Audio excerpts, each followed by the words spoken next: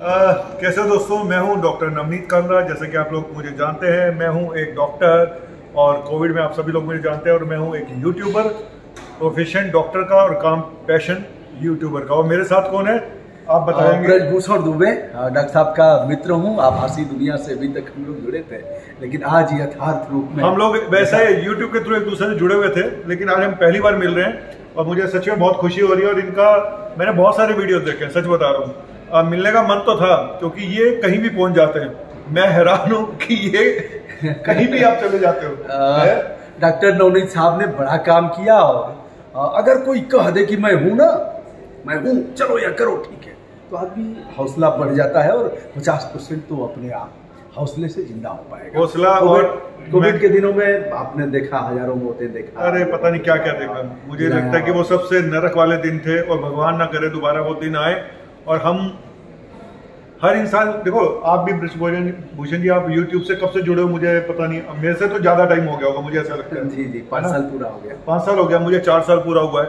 पर हमने एक चीज़ देख ली है कि सोशल मीडिया एक ऐसी चीज़ है जिसके माध्यम से आप बहुत अच्छा काम भी कर सकते हो दुनिया का फ़ायदा भी करा सकते हो और करने को आप बेड़ा गर्क भी कर सकते हो। मानते हो आप इस बात हाँ बिल्कुल बिल्कुल जैसा कि दिखाया लोगों ने।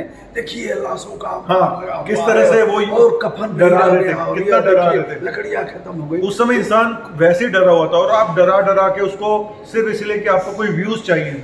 खाली व्यूज़ पाने के लिए इस तरह के गंदे वीडियोस बनाना या जिसको बोलते हैं कि कुछ भी हेडिंग दे देना अंदर क्या है बाहर क्या है ये सब काम नहीं करने चाहिए।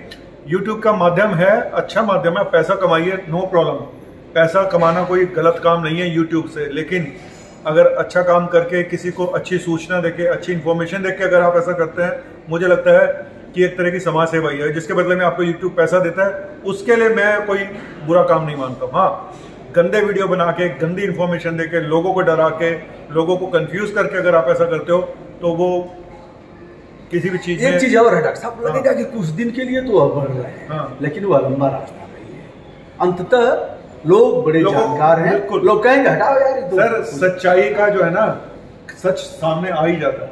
अब कितना भी झूठ का तंत्र ज़्यादा दिन चलता नहीं है। इसलिए इसका सकारात्मक सदुपयोग करना है संपूर्ण रूप से। और राष्ट्र हित में देश के और हम दोनों मिले कैसे आज?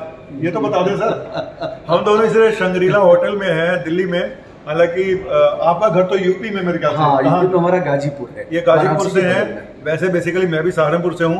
और लेकिन अभी यहाँ दिल्ली मैं दिल्ली में हूँ तो हम लोग मिले हम दोनों को इनवाइट किया गया था। एक संस्था कुछ संस्था है कुछ एनजीओ हैं जो कि हम लोगों को कुछ सम्मानित करने के लिए उन्होंने हालाँकि हमें लगता नहीं हम इस लायक हैं लेकिन ठीक है उनको लगा कि हमने कुछ करा है तो हमें बुलाया गया। हम शंग्रीला होटल में इस समय और चलो मिलते हैं इसके बाद फिर और आगे भी कोशिश करेंगे कि हम दोनों मिलके अगर कहीं मिलेंगे तो एक छोटा मोटा वीडियो अपने और, और प्रकृति समान विचारधारा के लोगों को मिलवाती है। हाँ। मिलवाती इसलिए कि बेटा जुट करके हम्म। एक मत होकर के लेकिन डरना नहीं है। डरना नहीं। है। ये यूट्यूब में सच्चाई बताते रहना है चाहे वो मेडिकल से जुड़ी हो या ये जो अपने वीडियोस के द्वारा कुछ भी चाहे करप्शन की बात है कुछ भी है डर के काम नहीं करने होते।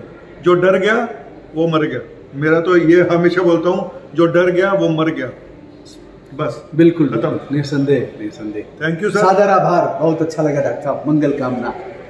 जय यूपी जय भारत। भारत माता की जय।